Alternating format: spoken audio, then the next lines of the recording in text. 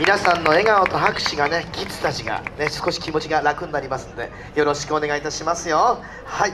さあこれからですね道のよさこいコンテストのジュニア部門を行います。このコンテストは中学生以下の人数が70%を占めるジュニアチーム。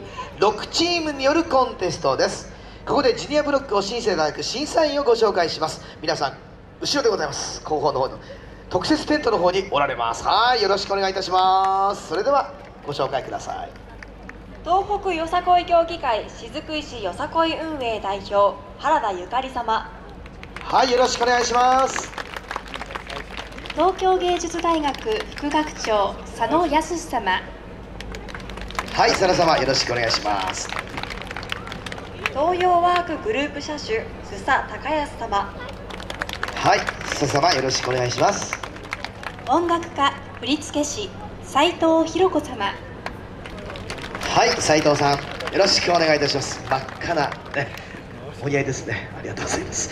以上4名の方に審査をいただきます。よろしくお願いします。よろしくお願いいたします。よろしくお願いします。さあそれでは早速参りたいと思います。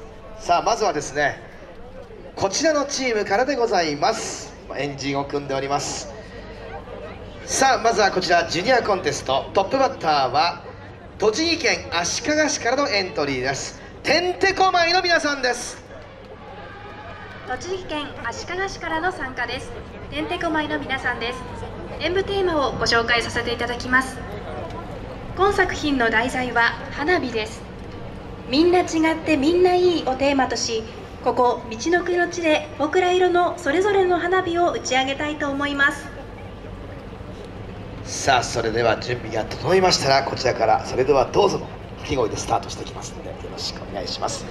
それでは参りましょう。トップバッターはてんてこまいです。それでは